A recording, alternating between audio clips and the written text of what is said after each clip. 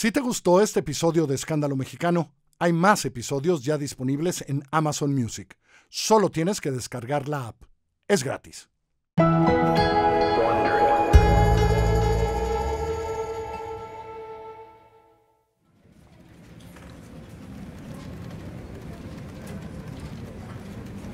Son las 8 de la noche del viernes 4 de julio de 1997. Es pleno verano en Culiacán y aunque ha pasado lo más fuerte del día, la temperatura todavía es de más de 30 grados. En la redacción de Noroeste, el diario independiente fundado en 1973 y cuyas oficinas están en el pleno centro de la capital de Sinaloa. La llamada proviene de la Ciudad de México. Un hombre de voz que delata su juventud pide hablar con la reportera que cubre los temas de Nabolato, el municipio vecino de Culiacán, donde se encuentra Altata, la playa donde los culiacanenses pescan, comen mariscos y disfrutan los fines de semana. El telefonema es transferido a la reportera Marta Araujo. Martita, como le dicen algunos de sus compañeros, Contesta, escucha y se queda helada cuando oye que la voz de la persona que está del otro lado de la línea le dice: Murió Amado Carrillo, Marta. Murió Amado Carrillo. Pasan unos segundos en silencio. Marta intenta reponerse. Toma aire y por fin lanza una, dos preguntas a su fuente. ¿De qué? ¿Cómo? Pero no consigue mucho. La voz de la fuente suena temblorosa. Marta lo conoce y se da cuenta que tiene miedo. ¿En una operación? No puedo decir más. Si quieres saber, mejor pregúntele al señor de la florería que está atrás. Esa, la del Parque Revolución. Buenas noches. Con el pulso descontrolado, Marta cuelga el teléfono. Siente un sudor frío. Respira profundo la llamada acaba de darle una pista clave para confirmar el rumor que ya corría en la redacción del periódico. Desde horas antes se hablaba de la muerte de un narco pesado de Nabolato. Nadie había podido obtener más detalles, hasta que llegó esa llamada. Marta sabe perfectamente lo que la muerte que le acaban de comunicar significa para Sinaloa. Amado Carrillo no es una persona cualquiera. Es uno de los narcotraficantes más poderosos de México. Lidera el cártel de Juárez y ha construido un imperio traficando drogas en aviones de todos los tamaños. Todo el mundo lo conoce por su apodo, el Señor de los Cielos. Sin dominar del todo sus nervios, Marta corre a la oficina de su superior, el periodista Oscar Rivera, editor de la sección local de Noroeste. Oscar, me llamó una fuente. Es Amado Carrillo, que muerto. Rivera pega un brinco de la silla, le brillan los ojos más abiertos de lo normal. Casi sin pensar, arma la cobertura. Lanza órdenes precisas, cual comandante a punto de una batalla. ¡Rápido! Unos a la florería del Parque Revolución, otros a la funeraria. Marta, checa con tus fuentes de Nabolato a ver qué averiguas. Hay que apurarse. El proceso de cierre de la edición ya comenzó, pero esta nota va a cambiarlo todo. La florería queda a siete cuadras del periódico y por eso es el primer punto al que los periodistas del noroeste van a reportear. Al llegar, comprueban que se están elaborando más coronas y arreglos florales de lo normal. Son muchas y todas con una cosa en común. No portan el típico cintillo con el nombre de la familia o la persona que las envía para expresar sus condolencias a los deudos. La ausencia de identidad del remitente llama la atención de los reporteros y hace el asunto todavía más sospechoso. En la redacción, los diagramadores comienzan a cambiar el armado de la edición del día siguiente. El tiempo apremia. El jefe de locales sigue asignando tareas y tirando órdenes a su equipo. Sabe que la prensa no espera y entonces toma una decisión más arriesgada.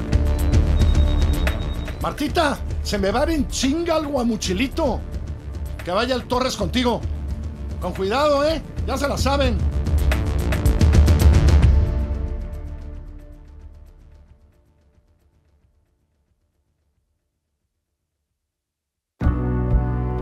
Para Wondery, yo soy Carlos Puch y esto es Escándalo Mexicano. Es julio de 1997. El país es gobernado por Ernesto Cedillo Ponce de León, quien llegó a la presidencia de México en 1994 después del asesinato de Luis Donaldo Colosio en Tijuana. Es de nuevo año de elecciones y por primera vez en la historia el PRI pierde la mayoría en la Cámara de Diputados. Pero el dominio a nivel estatal del partido hegemónico está lejos de entrar en crisis. Pero en Sinaloa, como en otros tres o cuatro estados más de la República, en los 90 el poderío del histórico partidazo es un tanto diferente. En Sinaloa, un estado profundamente agrícola, la clase política convive, comparte y pacta con otro poder en crecimiento y que se resiste a ser domesticado, el del narcotráfico. Amado Carrillo pues era un nivel más, más alto porque no, no radicaba aquí pues. A ese poder oscuro pertenece Amado Carrillo Fuentes, el Señor de los Cielos, un narcotraficante de 42 años, originario del Guamuchilito, en Nabolato, que entró al negocio por invitación de su tío, Ernesto Fonseca Carrillo, Don Neto. Carrillo Fuentes se apoderó de una parte de la organización criminal construida por su pariente y por Miguel Ángel Félix Gallardo, el jefe de jefes y líder del cártel de Guadalajara, grupo caído en desgracia por secuestrar, torturar y asesinar a Enrique el Kiki Camarena, agente de la DEA. La habilidad de Amado para mover droga por aire y a gran escala lo puso en el mapa del narcotráfico, y cuando Pablo Escobar cayó en Colombia, el de Nabolato dejó de ser solo un transportista y se convirtió en un introductor directo de droga a los Estados Unidos. Entonces se volvió multimillonario y todopoderoso. Y lo, lo vamos a velar aquí a mi amadito. Estando en la cúspide, las cosas se le complican. Su mayor protector en el gobierno, José de Jesús Gutiérrez Rebollo, general del ejército mexicano, es detenido. Llamado se ve forzado a andar a salto de mata. Huye a Sudamérica por un tiempo. Cuando regresa a México pone en marcha una decisión radical. Para sobrevivir, tiene que cambiar su apariencia física, inventarse una nueva identidad. Los que estaban enterados con distintas versiones eran los pobladores de Guamuchilito. Este es el primer episodio del último vuelo del Señor de los Cielos. Una operación silenciosa.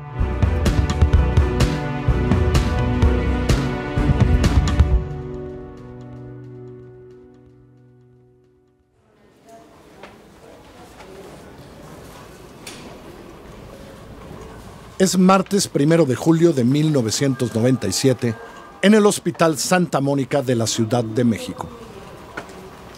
El médico Ramón Pedro López Saucedo, encargado de cirugía, recibe una llamada de un colega colombiano a quien conoce desde que él era jefe de residentes y estaba en el tercer año de la especialidad. Han compartido muchas cirugías y congresos de medicina. Unos ocho meses antes, el colombiano le confió a López Saucedo que estaba trabajando de planta en la Ciudad de México, haciendo cirugías a empresarios de alto nivel. Doctor López Saucedo, tiene llamada telefónica. Como tiene muchísimo trabajo, le vendría bien algo de ayuda. Sobre todo cuando éste sale de vacaciones. Hola Ramón, ¿cómo está? Necesito programar una ritidoplastía esta semana. Es un empresario importante, viene de Guadalajara. ¿Tiene disponibilidad? Me urge. Con gusto. Podemos hacerlo en el Hospital Ángeles del Pedregal. Tengo buenos contactos ahí. ¿Qué te parece? Preferiría algo más pequeño. Dame más opciones. Al paciente le da pena que la gente vea que se hace una cirugía plástica. Sobre todo porque es hombre y ya ves cómo es esto. Luego la gente habla de más. Entonces aquí en la clínica Santa Mónica donde trabajo, podemos hacerlo sin problema. Yo me encargo. No te preocupes. Perfecto. Ay, también necesito un anestesiólogo con todo y todo. El resto de los médicos los pongo yo. Por el dinero, no te preocupes.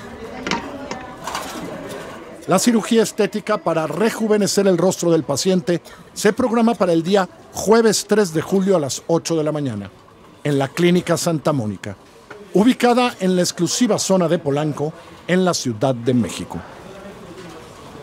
Cuando López Saucedo pide los datos generales del paciente, el nombre que le dan no le dice absolutamente nada. Antonio Flores Montes. Son las siete y media de la mañana del jueves 3 de julio en el Hospital Santa Mónica de Polanco.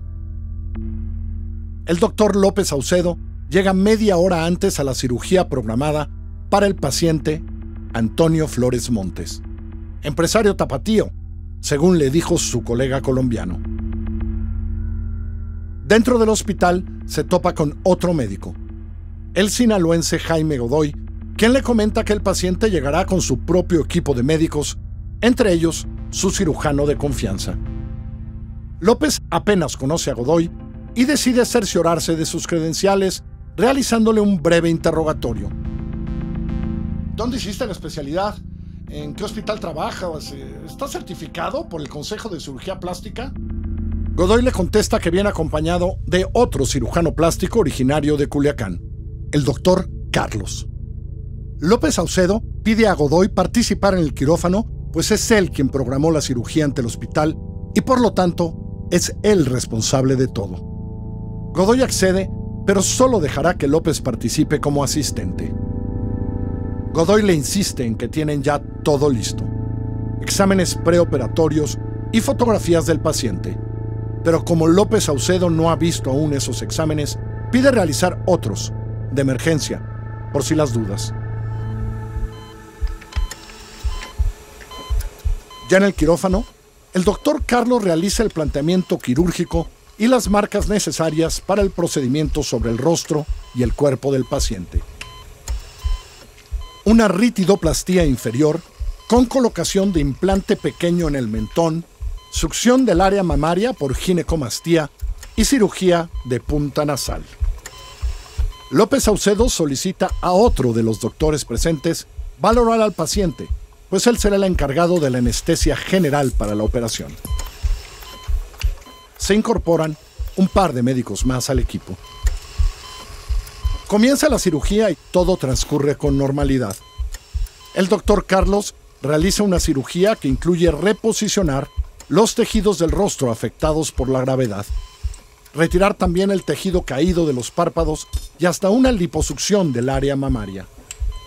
La cirugía de la punta de la nariz le toca al doctor Godoy, pues tiene fama de ser bueno para eso. Todo el procedimiento dura ocho horas no hay ninguna sorpresa. Son profesionales, saben hacer su trabajo. Después de la cirugía, Antonio Flores tendrá un nuevo rostro. Se verá más delgado. Será, como aspira, un hombre nuevo, diferente. Después de la intervención, el paciente se recupera bastante bien. Es trasladado a recuperación con buena oxigenación. El parte médico hasta ese momento es de cero complicaciones. Otro doctor que también viene de Culiacán, Jorge, se llama, realiza las notas postoperatorias que le dicta su colega Carlos. López Saucedo las revisa. No hay problema. Está de acuerdo con ellas. Un éxito. Contentos con el resultado, todos los médicos van a comer después de la cirugía, excepto el doctor Godoy, quiere estar cerca del paciente en la habitación de este, la número 407, solo por si cualquier cosa. Una hora y media después, los médicos regresan de comer y encuentran a Antonio Flores alerta, consciente, estable y lúcido. Aunque adolorido responde a las preguntas coherentemente. El paciente está de buenas y pide hablar por teléfono con su familia. Los médicos le dan permiso. El hospital cobra 30 mil pesos por la renta del quirófano, la habitación y los servicios de los tres anestesiólogos. El pago es en efectivo y en dólares. Pero eso no sorprende a nadie. Así pagan este tipo de empresarios. A las 10.30 de la noche, el 3 de julio de 1997, López Saucedo se retira satisfecho del Hospital Santa Mónica para descansar. Deja dicho que ante cualquier emergencia, la que sea, le llamen a su radio localizador.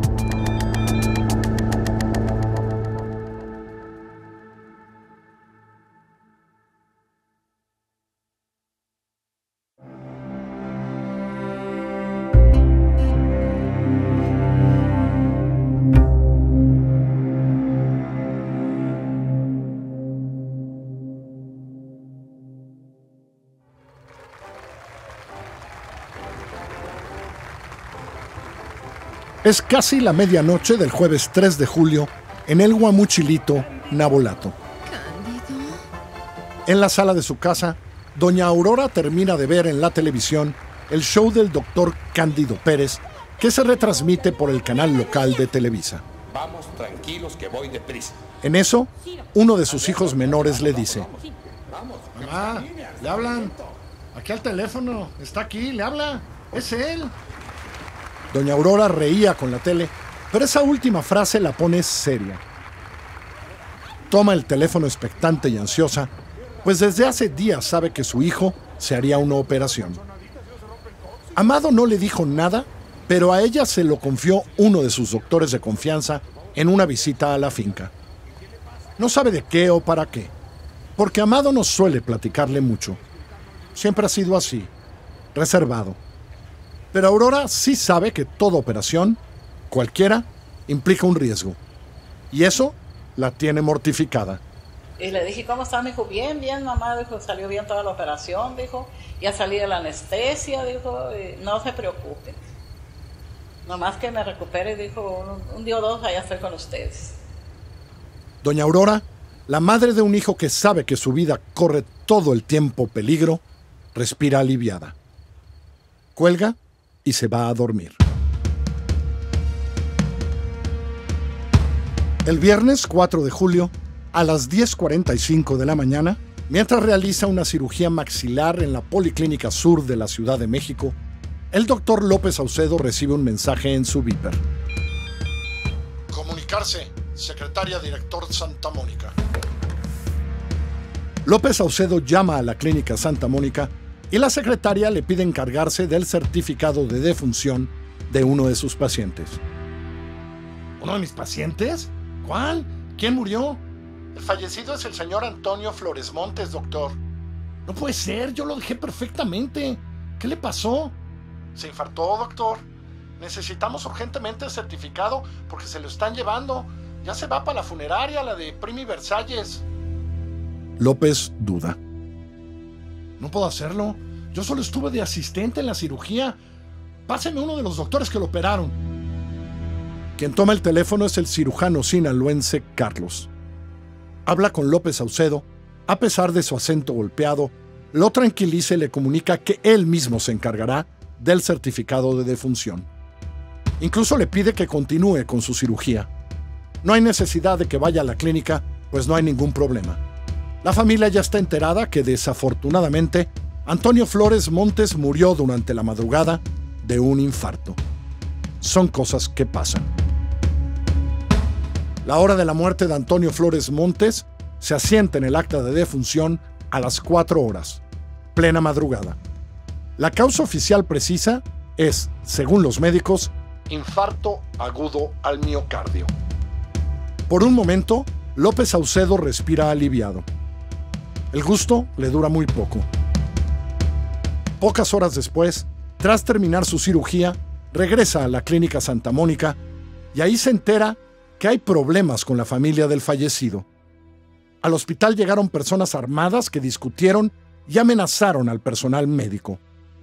Asustado, sale del hospital tan rápido como puede. Decide no regresar hasta que los médicos encargados de la cirugía le llamen. La espera será en balde.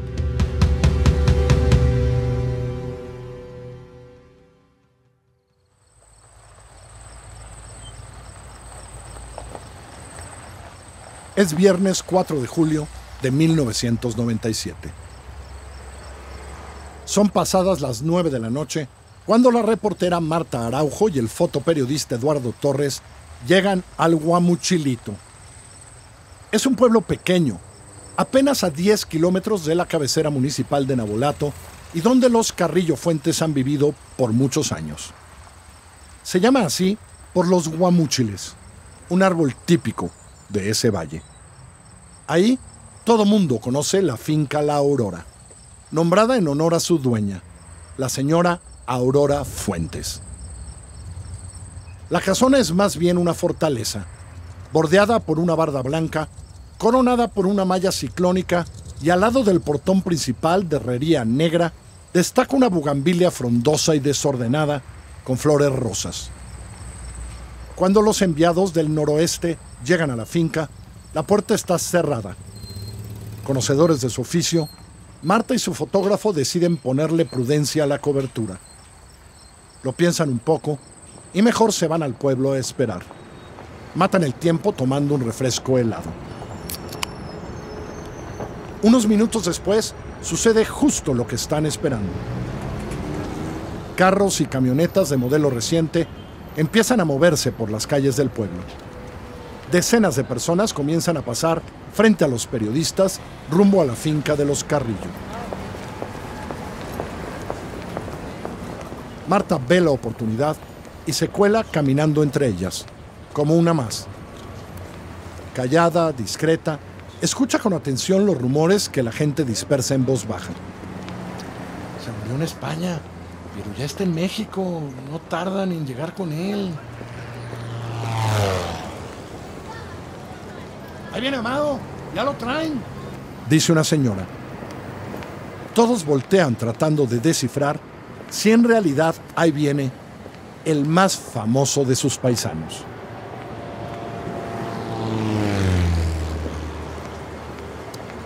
La aeronave desaparece y se quedan en las mismas. El portón de la casona blanca ahora está abierto. Marta entre el tumulto de los lugareños. Ya adentro, observa cómo las coronas de flores blancas y rojas se acumulan en el patio, recargadas y en fila sobre las paredes de la casa. Algunas llevan cintillos brillantes con nombres de gente desconocida. Otras, muchas, no llevan nada. Pero Marta se impresiona porque son enormes, gigantes, de las más grandes que ella ha visto en su vida. Siguen llegando más personas. Reconoce a algunos empresarios, agricultores y abogados que ha visto en las páginas de sociales, la sección en la que trabajó antes de ser ascendida a la local. Marta escucha y anota con sigilo en su libreta. Agradece de pronto sus clases de taquigrafía de cuando estudió cursos de secretaria. Anota rápido y discretamente. No quiere perderse de nada de lo que ve y escucha. Marta intenta mimetizarse con los asistentes. Nadie ha descubierto que es reportera y eso la tranquiliza. Sin embargo, el pueblo es pequeño y las mujeres que están a su lado la desconocen. Un par de señoras se le quedan viendo. De pronto, una de ellas le pregunta en voz baja pero con tono directo. ¿Usted es comadre de doña Aurora? ¿Es tía de Amadito? ¿Amiga? Marta se siente descubierta, ahoga una respuesta cuando de repente se escucha desde el cielo, otra vez, el zumbido de un avión. Alguien a lo lejos dice, ¡Ahí viene Amadito! ¡Ahí viene! Del cielo, momentáneamente, le cae a Marta su salvación.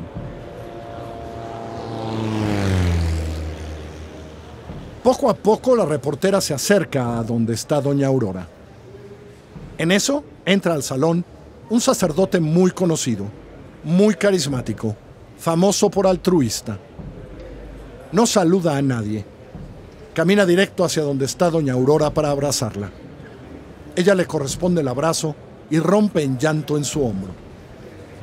Marta se dice a sí misma, Sí se murió, Amado. Sí se murió. Nota que la familia Carrillo está confundida. seriamente impactada por lo sucedido. Poco a poco, logra sentarse en una silla cercana a la de doña Aurora, que por fin se queda quieta después de mucho ir y venir atendiendo a los asistentes. Escucha entonces la verdad que había ido a buscar. La madre de Amado Carrillo le dice con angustia al cura que se afana en consolarla. No sabemos si lo traigan. Están viendo eso las gentes en la Ciudad de México. No sabemos si llega hoy. Vamos a velar aquí a mi amadito. Ahí está. Marta ha confirmado su exclusiva. Ha muerto el Señor de los cielos. Son pasadas las 11 de la noche del viernes 4 de julio de 1997 en el Guamuchilito, ahí en Nabolato. La enorme casa de los Carrillo está llena de gente. Están ahí por un velorio. Cada vez más sillas, coronas y comida, pero no hay cuerpo para llorar. Se hace tarde y todavía, sin que ningún féretro llegue a la casa, la reportera Marta Araujo y el fotógrafo Eduardo Torres deciden abandonar la finca para regresar a Culiacán. Vámonos, Torres. Se nos va a pasar el cierre. Torres asiente y aprieta el paso. Cuando cruzan la puerta de la finca, Marta repara en que no tiene ninguna foto. Se detiene e increpa al fotógrafo. ¿Y las fotos? No tomaste ni una. Si la tomo se van a dar cuenta. Pues traigo flash. A Marta no le gusta la respuesta, pero entiende. Sabe que el fotógrafo tiene razón. Aunque quiere como nadie una foto para ilustrar su nota, está consciente que no pueden ponerse en riesgo. Reniega un poco, pero lo acepta. Vámonos pues, ni modo. El Oscar debe estar desesperado. Vienen días largos, piensa Marta arriba del carro de regreso. Mientras recorren los 32 kilómetros que hay de Nabolato a Culiacán, nota que no hay vigilancia de ningún tipo. La carretera está completamente sola. En el Guamuchilito no hay cuerpo, pero los indicios son contundentes. Amado Carrillo está muerto y ella tiene la primicia. Le gustaría saber más, tener más información. En su cabeza se amontonan las preguntas. ¿Cómo murió? ¿Lo habrán matado? Seguro alguien lo traicionó. ¿Quién? Porque esta gente no se muere así nomás. Ojalá tuviera más datos, pero con lo que ha logrado averiguar es suficiente para publicar. Tiene la nota principal. Esa nota a la que todo mundo en la redacción le dice La Princesa. La portada de Noroeste es suya. El Señor de los Cielos ha emprendido su último vuelo.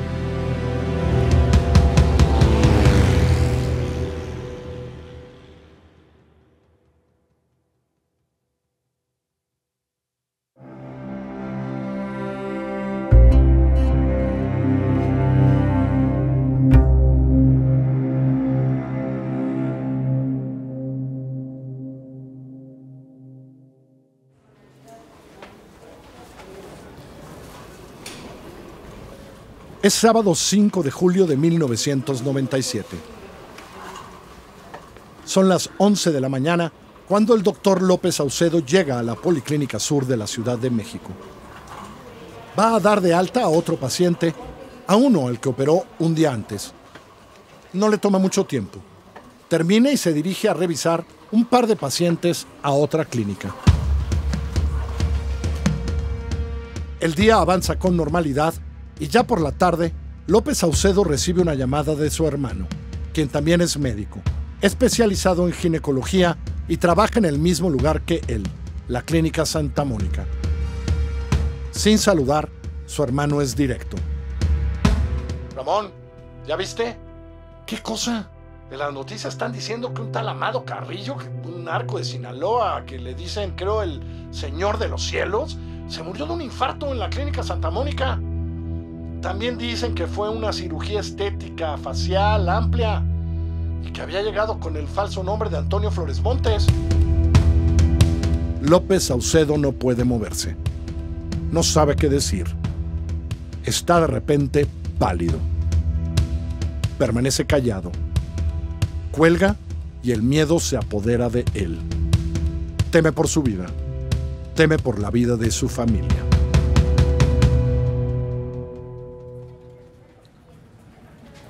Es sábado 5 de julio de 1997 en Culiacán. Alejandro Escobar, el morro, fotógrafo de Noroeste, llega tempranito a las oficinas del periódico en el centro de Culiacán. Suelta la cámara que lleva en la mano y toma con emoción el ejemplar de ese día. La portada del periódico del que es fundador no puede ser más contundente. Murió Amado Carrillo. La nota de 8 es corta pero precisa y se convierte por lo que revela en un escándalo internacional. En la calle, el periódico que edita Refugio El Cuco Aro se vende como pan caliente. ¡Échame un este! Pide un transeúnte al vendedor del puerto de revistas. ¡Ese me acabó, jefe! Es que hoy se vendió en friega. Al rato me van a traer más. Gracias, oiga. ¿Y usted qué cree? ¿Sí se habrá muerto? Los voceadores de los cruceros no se dan abasto y el periódico se agota en los puestos de revistas. El rumor de la muerte de Amado Carrillo cobra veracidad y a nivel nacional e internacional no se habla de otra cosa. El Señor de los Cielos, un capo buscado en todo el mundo, ha muerto de una manera inverosímil. No fue asesinado a balazos ni sufrió un accidente aéreo mientras traficaba drogas. No, murió en una operación que salió mal. Imposible. Suena demasiado simple, demasiado vulgar para un hombre de esa naturaleza. Es una versión tan increíble que en Culiacán y en todo México pasarán los años y sobrará gente que considere que es una mentira, un gran engaño.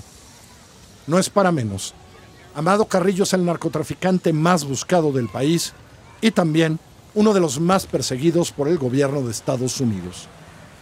Según las autoridades de Washington, el Señor de los Cielos enfrenta al menos 25 acusaciones diversas de narcotráfico y crimen organizado en diversos estados de la Unión Americana. Si alguien lo quiere, son los gringos. Ese sábado 5 de julio, periodistas y corresponsales nacionales y extranjeros comienzan a llegar a Culiacán para cubrir el que será el sepelio del célebre Señor de los Cielos. Allí están todos. Reuters, Associated Press, Excelsior, Proceso. Todos quieren un pedazo de esa historia extraordinaria. En la redacción de Noroeste se organiza un verdadero cuarto de guerra. Todo el equipo se encuentra repartido en diversas fuentes por cubrir. La funeraria, la delegación de la Procuraduría General de la República, el hangar de la Fuerza Aérea, todas las agencias policíacas. Pero lo más importante es cubrir el sepelio en la finca La Aurora, en Nabolato. Elizabeth Valdés, Alberto Morones, Eduardo Torres, Miguel Ibarra, Alejandro Escobar y por supuesto Marta Araujo son los principales periodistas encargados de cubrir el velorio y el sepelio. Pero en realidad, todo el periódico está en lo mismo. Un velorio en el que ya está todo listo. La gente, la comida, la bebida, las flores. Un velorio en el que los remitentes de las coronas y los arreglos no dejan lugar a dudas de su importancia. Ismael Zambada, Joaquín Guzmán, Héctor Palma, nombres que son una marca propia de Sinaloa y que no necesitan mayor presentación. Un velorio en el que sobra de todo, pero al que todavía le falta lo más importante, un ataúd. La portada de Noroeste sorprende al país y enciende las alertas de las autoridades federales. Ese sábado por la mañana, hasta la finca La Aurora, llega un agente del Ministerio Público Federal. Pide permiso para entrar y hablar con la familia. Lo logra. A su salida se dirige a los periodistas presentes para decir que solo hace su trabajo. No da ningún otro dato, pero todos saben a qué va. A mediodía, la Procuraduría General de la República tiene que emitir un boletín informativo a todo el país, en donde señala que han recibido rumores de que Amado Carrillo murió. Pero insisten que no se puede confirmar nada hasta que la dependencia realice las investigaciones correspondientes. Como sucede en este tipo de noticias, el boletín oficial no informa nada y deja más dudas que respuestas. Mientras tanto, en la funeraria San Martín, ubicada por el Boulevard Zapata de Culiacán, se encuentra el cuerpo sin reclamar de un tal Antonio Flores Montes y está siendo analizado por peritos de la Procuraduría General de la República y por seis agentes estadounidenses del FBI y la DEA. Aunque el cadáver llegó por la mañana, los exámenes tardarán horas. Hasta ahí llegan la madre y hermanas de Amado Carrillo, discuten con los agentes de la Procuraduría y reclaman que les entreguen el cuerpo que tienen resguardado. La PGR responde que su personal tiene que ser sumamente escrupuloso con los peritajes, en virtud de que si se trata realmente de Amado Carrillo, existen diversas órdenes de aprehensión en su contra por delitos de asociación delictuosa y crimen organizado. Por decisión federal, el cadáver de quien todavía es Antonio Flores Montes es asegurado por la Procuraduría General de la República, que decide trasladarlo de inmediato a la Ciudad de México para realizar pruebas de ADN y peritajes más contundentes. Esa tarde, el cadáver es subido otra vez a un avión. Un Hércules de la Fuerza Aérea con destino al Distrito Federal. Va dentro de un ataúd de metal plateado que impresiona por su finura a los agentes extranjeros. Es el nuevo vuelo de un muerto sospechoso.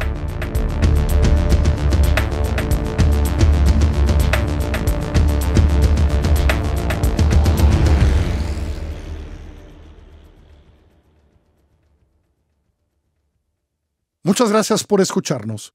Sigue Escándalo Mexicano en tu plataforma favorita. Si quieres tener acceso preferente a cada episodio y sin anuncios, lo puedes hacer a través de Amazon Music.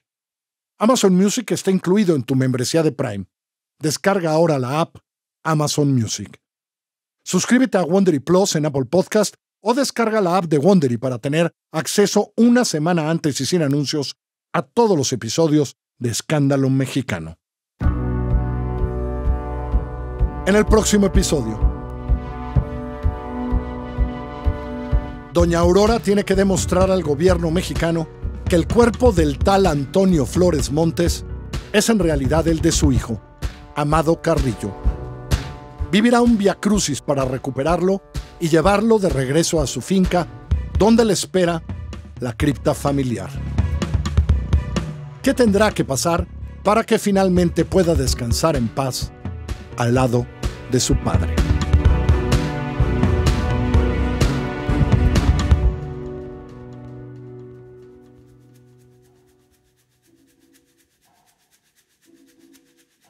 No podemos saber si las conversaciones que aquí le contamos sucedieron exactamente como están narradas en este episodio, pero todas están basadas en las fuentes que consultamos para la escritura de este guion.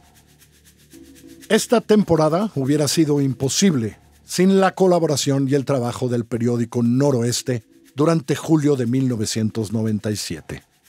Las notas de aquellos días fueron firmadas por Marta Araujo, Elizabeth Valdés, Alberto Morones, Eduardo Valdés, Guillermo Gallardo, Oscar Rivera, Luis Alfredo Zazueta, José Manuel Salas, entre otros. Las fotografías son de Eduardo Torres, Miguel Ibarra y Alejandro El Morro Escobar. La entrevista, inédita hasta ahora de la señora Aurora Fuentes Vega, fue realizada por los periodistas Darío Dávila y José Manuel Salas para Noroeste. Se consultó además la carta del doctor Ramón Pedro López Saucedo, publicada en proceso. Escándalo Mexicano es una serie producida por puro contenido y así como suena. Carlos Puch, yo, soy quien la conduce. Ibarra la productora ejecutiva. El guion de esta temporada fue escrito por Adrián López, director de Noreste. La edición la hicieron Galia García Palafox, Salvador Camarena y María Scherer. Mariana Marín es asistente de investigación y la encargada de verificar los datos. Hugo Santos Quevedo está a cargo del diseño sonoro. La música es de Patricio Mijares.